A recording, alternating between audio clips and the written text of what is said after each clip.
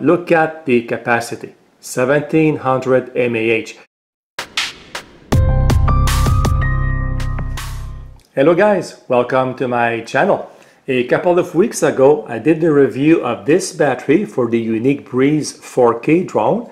This is a GiFi power battery at the capacity of 1300 mAh and the stock Yuneec is 1150. So this is 13% more capacity. So I thought the flight time would be 13% more, but actually if you saw my video, I got 11 minutes with the Yuneec and I got only 10 minutes with the GiFi Power. So I was very disappointed. Now I got today from the same company, GiFi, another battery, but look at the capacity, 1700 mAh. This is 50%. Uh, yes, 50, 50% more capacity than this one.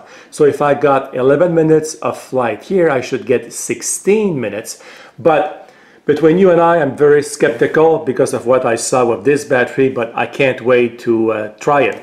Also, in my previous review, I said that the build was almost identical except for the contacts here. The GiFi has bigger contacts, but strangely enough, the new GiFi Power has the same contacts in the back as in the stock Yuneec battery. So how is that possible? They're the same brand. You would think they're made in the same factory and they have different contacts inside. Strange. At the same time, this is good because this battery here fits nicely in the charger, just like the Yuneec Breeze, but this one here, if you saw my video, it's a hard fit. You have to push very hard to make the contacts in the charger. So that's a little disappointing with this uh, battery. Now is the time for the big test. Let's go and fly this battery in our Breeze 4K drone 1700 mAh and see what kind of flight time we get. I'm very, very curious to see that.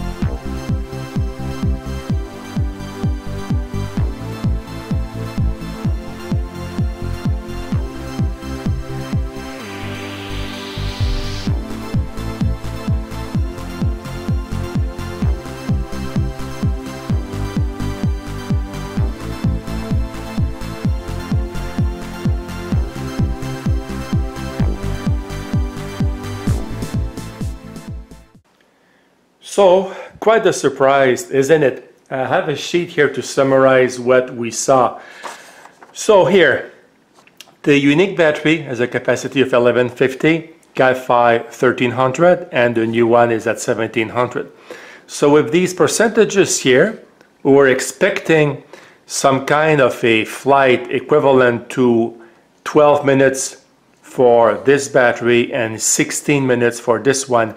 But we got in my previous video, we got 10 minutes for the 1300 and in this video we saw that we got 11 minutes, the exact same time as the Yuneec stock battery and I did all these flights three times and under the same conditions uh, in the basement with no wind. So if you look at the prices now, um, these are US dollars. Sometimes you can find a, a stock battery for about 40 but usually they're around $50. So and the GiFi on eBay is 20 and this one is about 30. So the best purchase seems to be this one here because why would you pay $10 more to get only one minute extra? But the two batteries I got here are difficult to fit in my charger they're uh, they're too tight. Like you have to push too much. I'm afraid I'll damage something in the charger eventually. So I'm willing, in my case, to pay ten dollars more.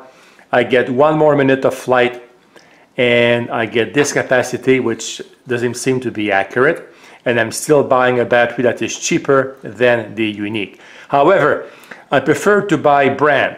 So if I was to find a Yuneec at about $40, a bit more than the GiFi, I would buy it because I like to buy brand. I like to support uh, companies for research and Yuneec like DJI is a serious company. So this is what I would do.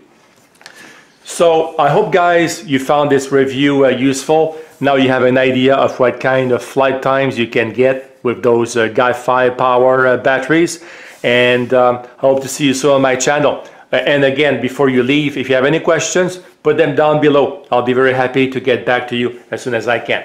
Okay guys, goodbye.